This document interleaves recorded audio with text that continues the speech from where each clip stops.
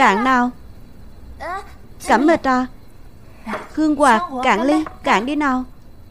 Giờ chúng ta ở bên cạnh của Tập Dương Đừng nên Sùn xả quá. Vậy sao được chứ? Hôm nay là ngày cô cô nhặt chúng ta về thánh ni tộc. Từ đó trở thành ngày sinh thần của chúng ta. Mỗi năm hai chúng ta đều sẽ uống đến khi sai Tại sao năm nay phải phá lệ được chứ? Rót đầy đi. Nào, cạn, uống.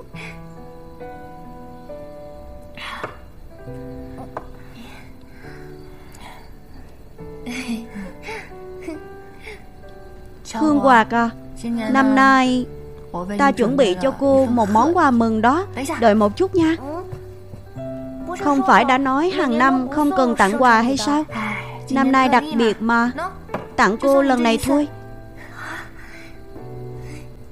Có thích không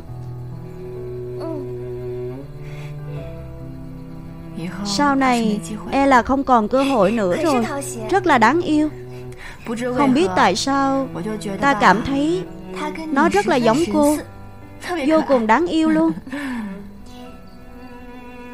Cẩm mịch à Cô quan tâm ta như thế.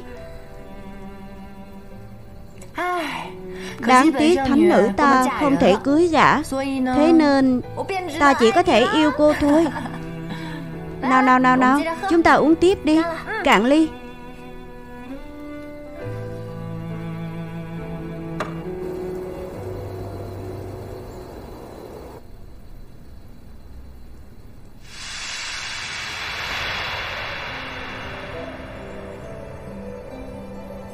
Nơi này sao lại thân quen thế vậy?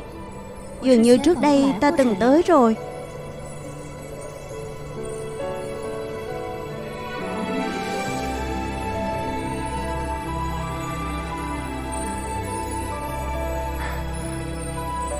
Sương qua Ta tưởng là chúng ta không bao giờ gặp lại nhau nữa chứ. Không ngờ cô lại xuất hiện trong giấc mơ của ta. Đây không phải là mơ, Cảm mịch Chỉ có cô mới có thể giúp ta ra ngoài. Ta muốn đi nói với người ấy. Ta yêu chàng. Yêu sao? Yêu rốt cuộc là cái gì? Yêu Chính là cô lúc nào, Ở đâu, Đều muốn ở bên người đó.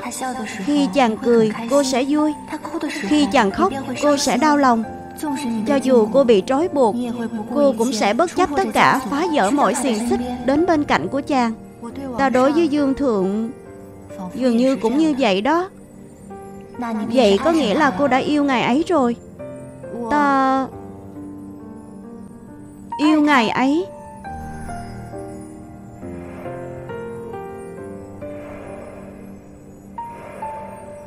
Cẩm mịch à Cẩm mịch Cẩm mệt à Cô tỉnh lại đi.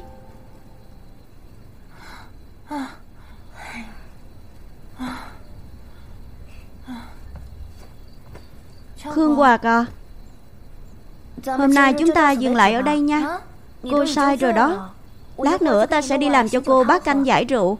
Ngộ nhỡ lát nữa tập dương triệu kiến Nhìn thấy bộ dạng này của cô Thì làm thế nào đây? Ta chưa sai. Ta không hề sai. Hơn nữa lúc này Tập dương chắc chắn sẽ không triệu kiến ta đâu. Tuyệt Đối Không. Nào Chúng ta cùng uống tiếp đi. Thánh nữ Dương thượng triệu kiến.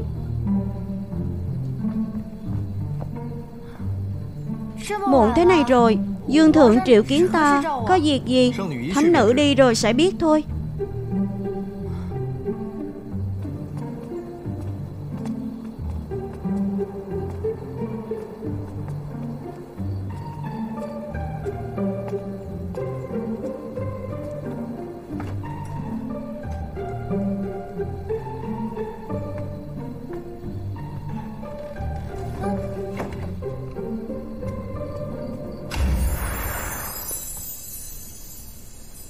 Kịch hay bắt đầu.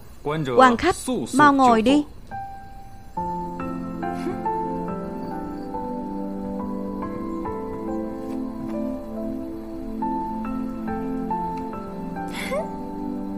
Quả nhân là tập dương hoài ngô. Mấy ngày nay rảnh rỗi, Vào núi đi săn. Săn được 200 phục binh lương quắc Nô gia là thánh nữ, thánh ni tộc. Mấy ngày nay rảnh rỗi vào núi hái thuốc. Hái được quốc chủ hoài ngô. Hay quá.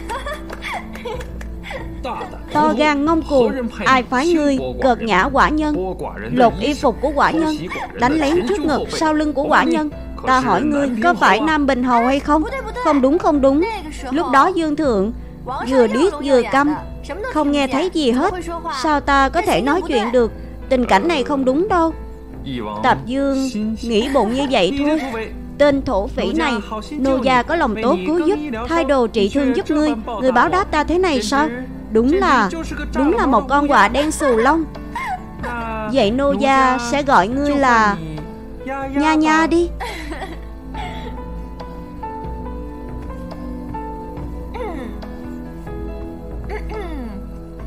Tại sao y giả lại đeo mạng che mặt vậy chứ?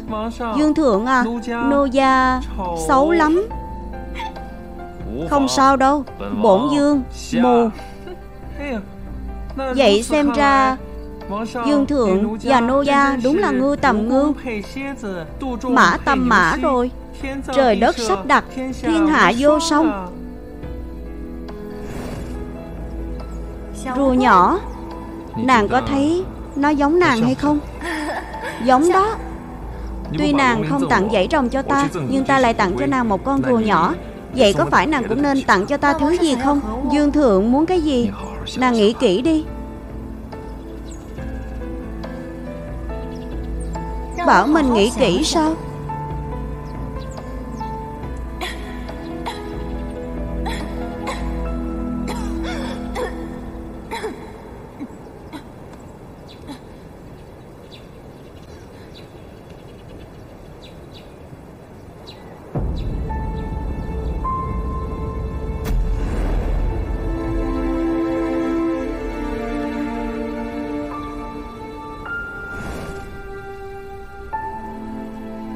Bổn dương Từng giả cam giả điếc Trước mặt của nàng Làm kẻ mù thêm một lần cũng chẳng có sao đâu. Chính người nói đó Dương thượng đừng có giật mình đó nha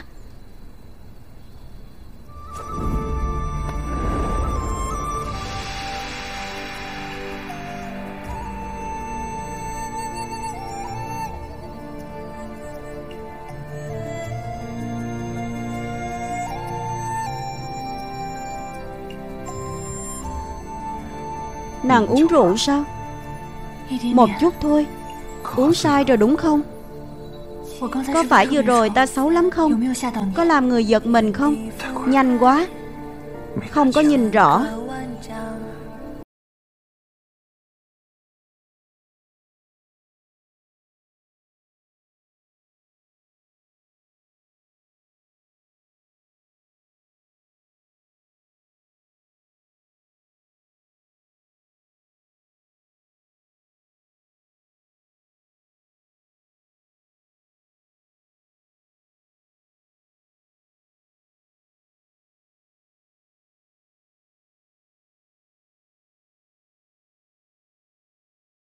Nàng không sợ chết sao? Mặc dù ta tham sống sợ chết, nhưng ta thích người hơn. Nàng nói cái gì? Ta thích chàng. Nói lại lần nữa đi. Không phải Dương Thượng giả mù hay sao? Tại sao bây giờ lại giả điếc? Bổn Dương muốn biết. Là nàng uống sai, hay là ta đang nằm mơ thôi? Thế nào hả? Xem ra không phải là bổn Dương đang nằm mơ rồi, mà là thánh nữ đang bị sai. Ta không có sai. Ta chỉ muốn chàng nhớ rõ những lời hôm nay ta nói. Nghe rõ đây, ta thích chàng. Ta thích chàng đó, ta thích chàng, ta thích chàng, ta thích chàng, ta thích chàng, ta cưới nàng.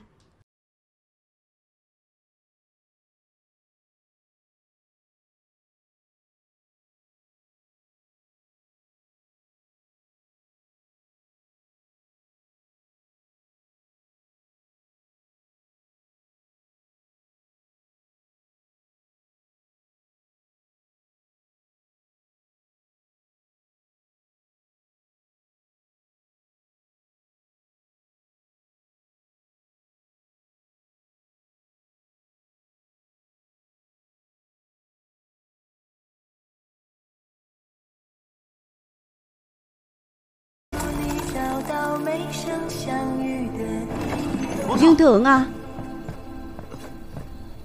Có cấp báo ở tiền tuyến. Vậy Vậy ta đi trước đây.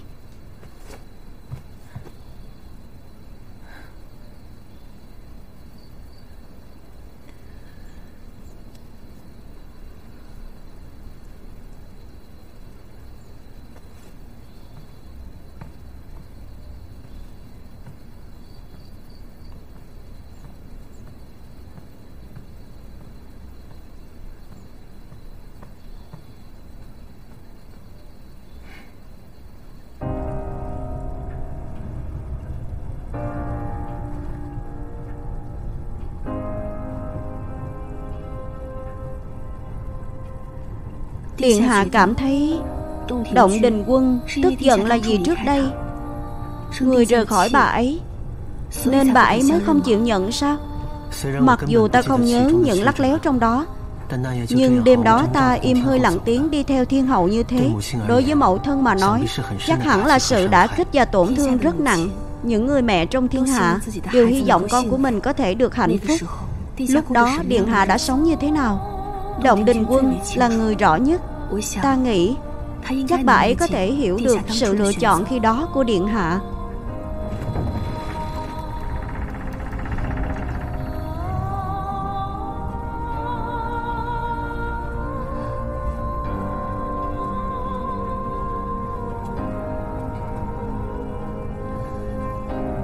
Tính tình của mẹ nuôi rất là quật cường. Mong đại điện hạ bỏ qua. Không sao đâu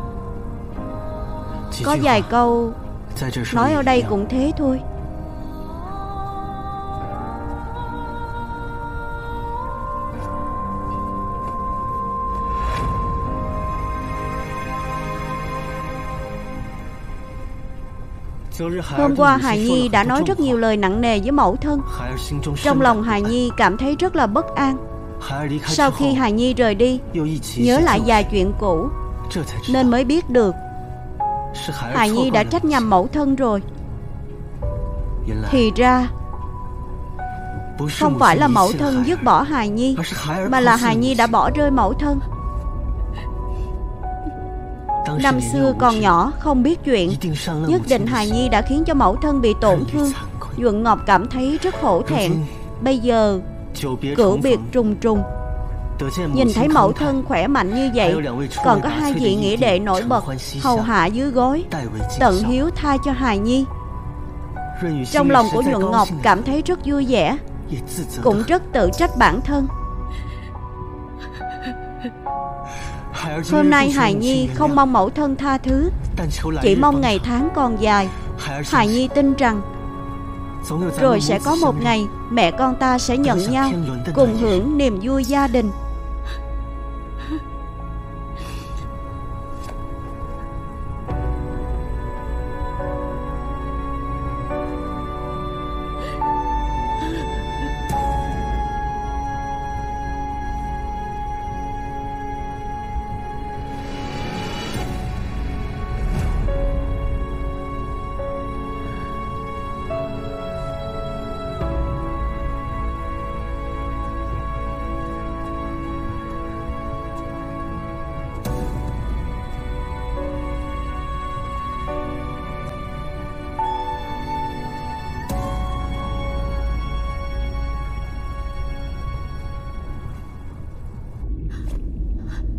Lý Nhi à? Lý Nhi? Lý Nhi à? Lý Nhi? Lý Nhi à? Lý Nhi? Lý Nhi? Không phải là mẹ giận con đâu. Mẹ sớm đã không màng sống chết rồi. Mẹ sống tạm đến ngày hôm nay Là để tận tay Đâm chết kẻ thù, Tận tay báo thù cho thân tộc. Con hãy tha thứ cho sự vô tình của mẹ. Mẹ đã hại con Ngay từ khi còn nhỏ. Đã phải chịu nhiều đau khổ, Tội lỗi như vậy. Nếu con đã gặp được kỳ ngộ, Bay lượng trời cao, Thì sao mẹ có thể nhẫn tâm kéo con xuống địa ngục vô tận được chứ? Mẹ chỉ mong con Bình an một đời. Bay cao dạng dặm.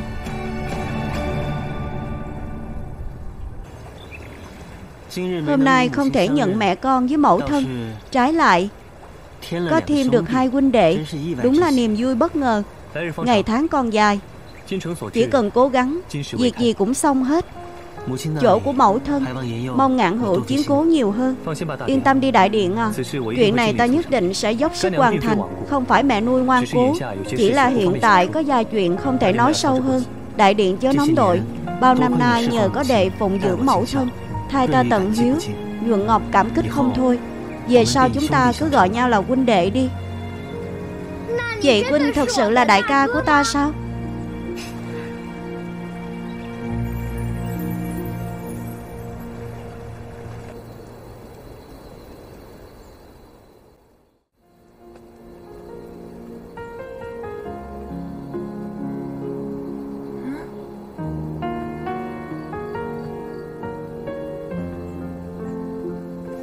Nhuận Ngọc Tiên. Cẩm mịch cô nương. Nhuận Ngọc hôm nay không mời mà đến. Có hơi đường đột. Không sao không sao. Vốn dĩ ta định qua mấy ngày nữa Mời Nhuận Ngọc Tiên đến. Lần trước chẳng phải đã hẹn với ngài Cùng nhau ngắm hoa quỳnh hay sao? Nhưng tối hôm đó Không biết làm thế nào lại ngủ thiếp đi mất. Quả thật xin lỗi Nhuận Ngọc Tiên. Chuyện tối nay ầm ĩ như vậy Ta bắt buộc phải xóa bỏ ký ức của mọi người trong tối nay.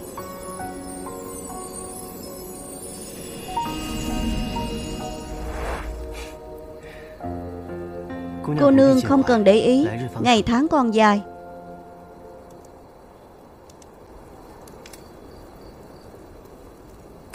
Nhuận Ngọc Tiên Sau khi ta tỉnh lại Phát hiện trong tay có thêm đóa hoa quỳnh. Có phải của Nhuận Ngọc Tiên trồng hay không phải đó. Ta còn tưởng cô nương muốn hái hoa quỳnh để trị bệnh cứu người. Không hổ là thần tiên. Lúc đó ta nghĩ như vậy đó.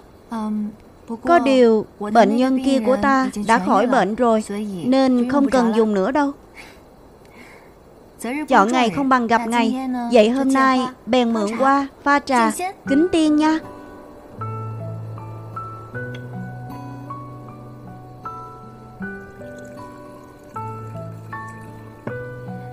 Nhuận Ngọc Tiên.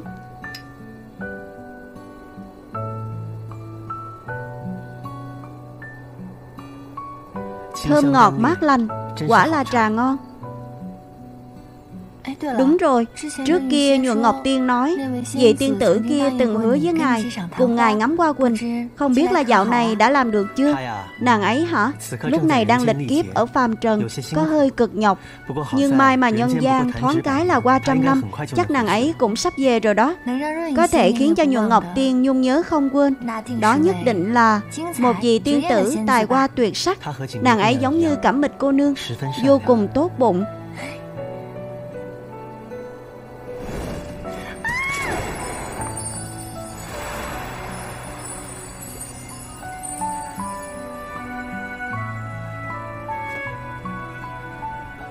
Cái đuôi của ngươi đúng là đẹp không gì sánh bằng.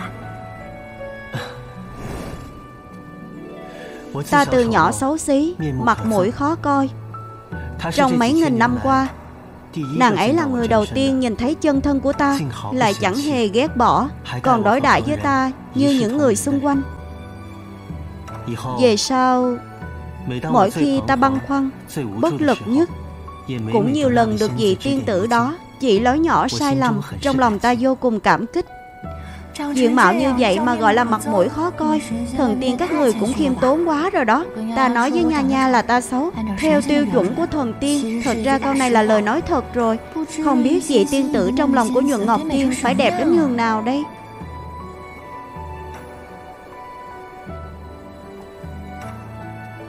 Cẩm mịch cô nương. Thật ra hôm nay nhuận ngọc đến Là có một việc muốn thỉnh giáo cô nương. Vết bỏng. Vết bỏng đến mức độ nào? Bị thương ở đâu? Bệnh nhân tuổi tác bao nhiêu? Bị thương khoảng bao lâu rồi? Là một trưởng bối có quan hệ vô cùng thân thiết với ta. Mấy nghìn năm trước Người bị lửa thiêu bỏng phần mặt. Vị trưởng bối này năm nay tròn 19.800 tuổi, vẫn xem như còn trẻ. 19.800 tuổi. Từ lúc ta hành y, chưa từng chẩn bệnh cho người bệnh cao tuổi đến như vậy đâu. Thần tiên cũng bị bệnh bỏng hay sao? Thiên giới có y giả không? Thần tiên cũng bị bỏng, cũng bị bệnh thôi. Thật ra, ta rất muốn làm chút gì đó cho vị trưởng bối này. Chỉ vì đủ loại nguyên nhân. Không tiện mời kỳ hoàng tiên quan ra mặt chữa trị. Hôm nay đến tìm cẩm mịch cô nương giúp đỡ. Cũng là ôm hy vọng nhỏ nhoi. Xem ra vị thần tiên này đối với nhuận ngọc tiên mà nói vô cùng quan trọng. Nói gì cũng phải giúp ngài ấy mới được. Nhuận ngọc tiên à, xin đợi một lát. Đây là hồng ngọc sinh cơ cao. Cái này là quyết kiệt sinh cơ cao. Bôi ngoài da một ngày ba lần Công dụng có thể trách tắc nghẽn Giảm đau, cầm máu lên da non. Có điều Ta không biết chứng bệnh cụ thể của vị tiên nhân đó. Trên tay chỉ có hai bài thuốc. Tạm thời lấy đi thử xem sao. Ta quả nhiên thiên phú khác thường. Bệnh nhân đầu tiên từ khi hành y đến bây giờ là Dương Bệnh nhân thứ hai là thần tiên Là thần tiên đó Nói ra còn chẳng có ai tin Vậy nhuận ngọc cảm ơn cẩm mịch cô nương. Tiện ta giúp đỡ Đâu đáng nhắc tới. Nếu như không có hiệu quả thì lại tới tìm ta. Ta lại điều chế phương thuốc khác. Nếu như có cơ hội Ta đưa nàng đi gặp vị trưởng bối kia. Người nhìn thấy nàng nhất định sẽ vô cùng vui vẻ. Được thôi được thôi. Trời sắp sáng rồi.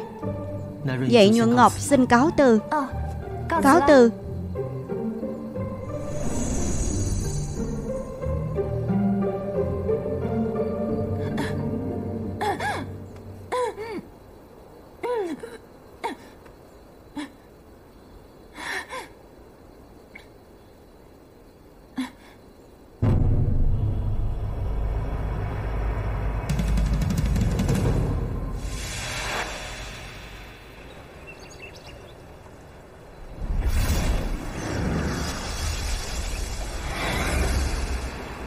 Khởi bẩm thiên hậu.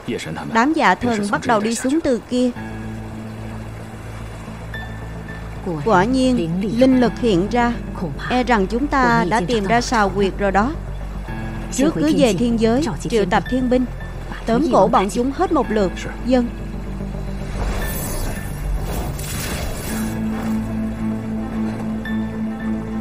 còn tưởng là ai? Quá ra là pháp giá của thiên hậu, Ta cứ tưởng là ai chứ? Lại là ngươi. Địa bàn của thủy thần, Sao ngươi lại ở đây? Quả nhiên rất tâm hại người. Đây lại chẳng phải là tự phương dân cung. Thiên hậu vừa tới đã hung hăng hùng hổ.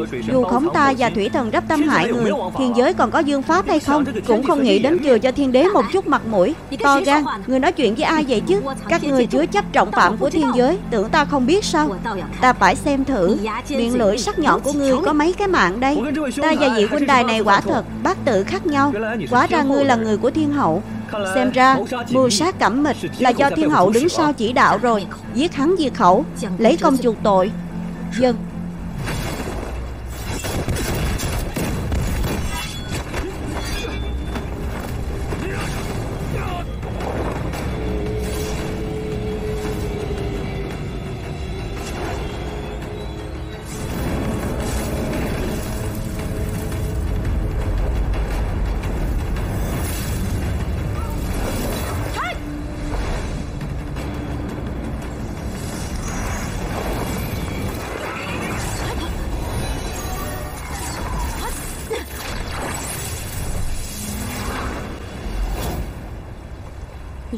cùng ngươi cũng tới rồi sao? Là ngươi?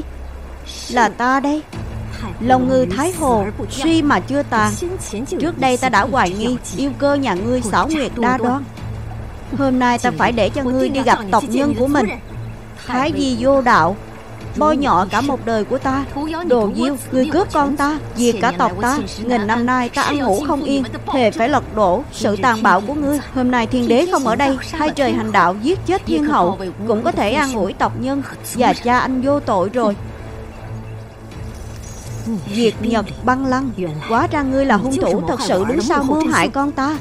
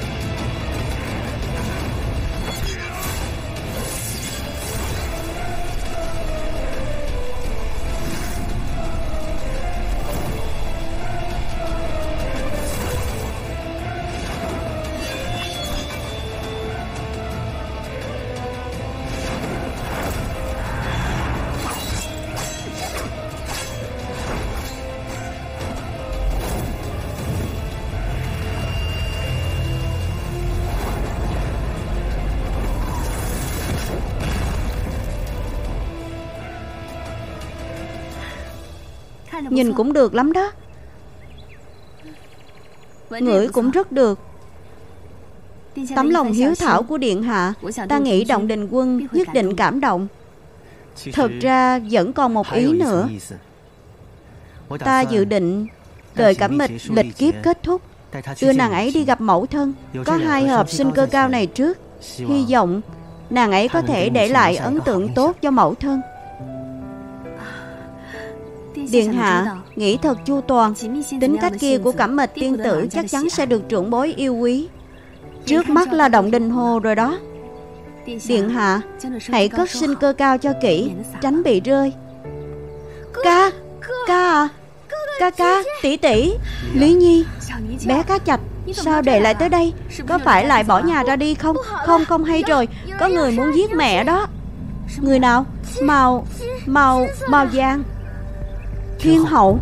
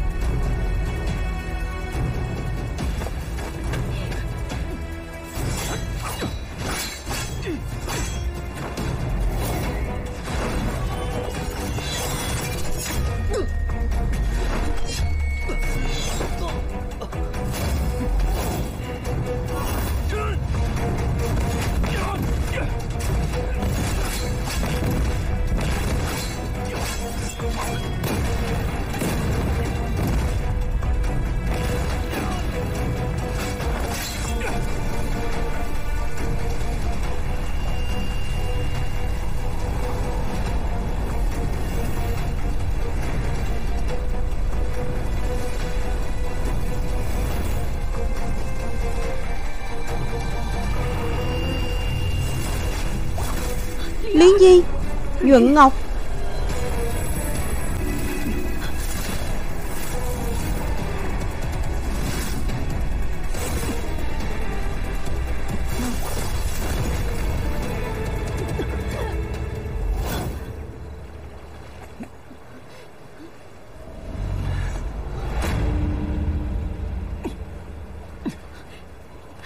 Lý Nhi à Thằng bé ngốc này con không cần mạng hay sao? Mẹ à Còn như thế này không phải là tới nạp mạng sao? Nhuận Ngọc Con cũng muốn đối đầu với ta sao? Mẫu thần Bà là mẹ đẻ của con.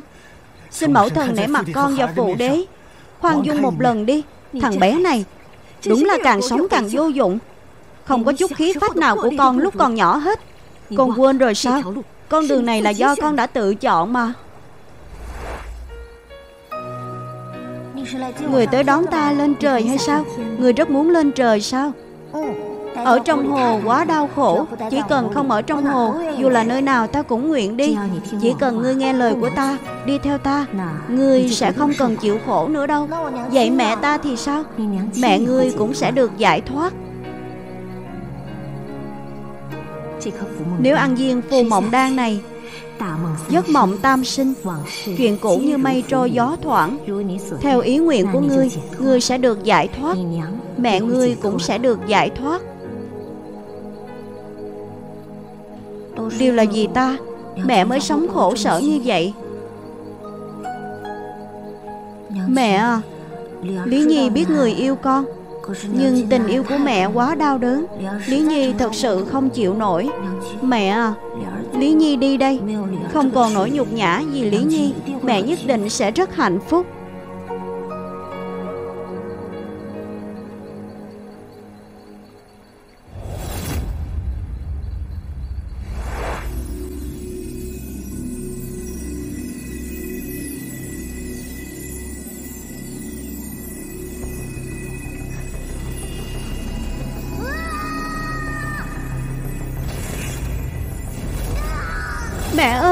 Đừng mà Đừng mà.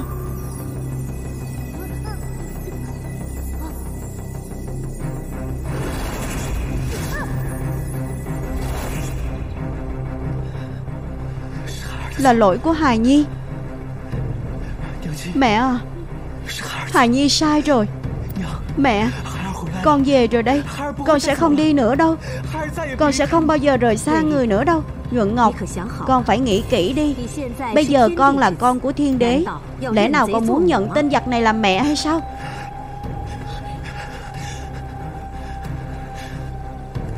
Lý Nhi Mẫu thần Con biết Bao năm qua. Người luôn lo lắng con sẽ tranh quyền đoạt vị với húc phượng. Thật ra con chưa từng có ý đó. Con và mẹ đẻ chia cách nhiều năm. Bây giờ con chỉ muốn sống yên bình cùng với người thôi. Những thứ khác con đều không cần. Con cầu xin mẫu thần khoan dung một lần. Hôm nay nếu con chọn của ta, Thì con đừng gọi ta là mẫu thần nữa. Mẫu thần, Con cầu xin người. Con cầu xin người tha cho bà ấy. Con cầu xin người. Con cầu xin người. Nếu con cứ u mê không tỉnh ngộ, Vậy hãy cùng chết chung với cô ta đi.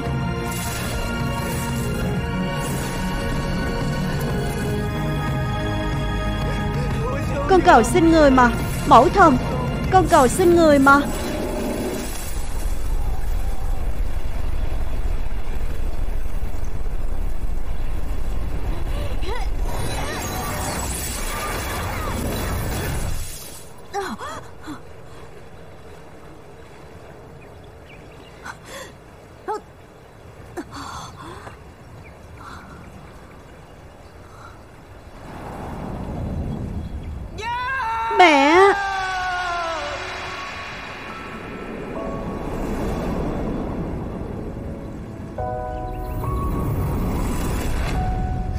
Mẹ Mẹ à. Mẹ Mẹ ơi. Mẹ, Con của ta Có thể gặp con trước khi chết. Mẹ đã mãn nguyện rồi. Chuyện hối hận nhất Cả đời của mẹ chính là gặp gỡ thiên đế. Nhưng duy chỉ có một chuyện. Mẹ chưa từng hối hận. Đó là mẹ đã sinh ra con.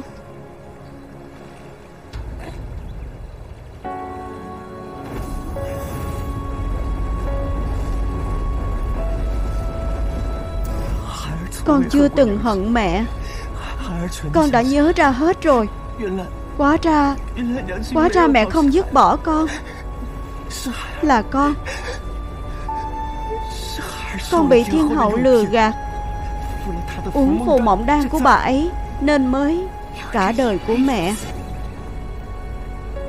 Đã nợ con quá nhiều thứ. Bao năm nay, Mẹ rất là cô đơn. Mẹ mệt rồi. Con đường còn dài. Con phải tự mình đi rồi.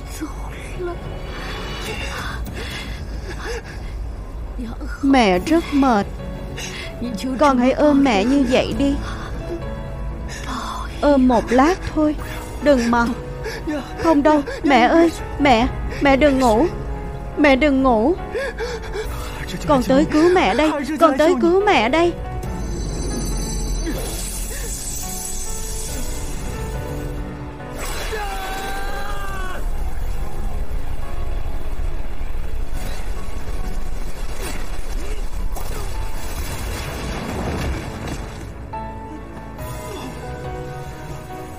Mẹ nuôi.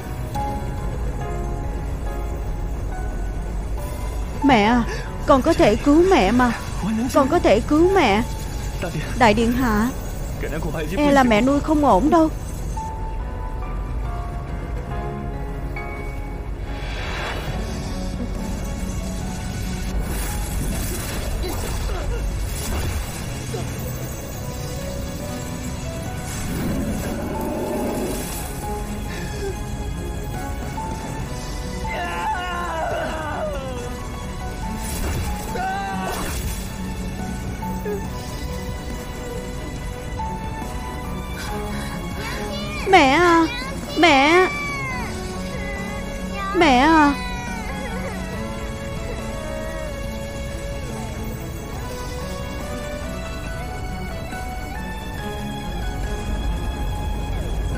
Nhuận Ngọc. Bây giờ tới lượt ngươi rồi đó.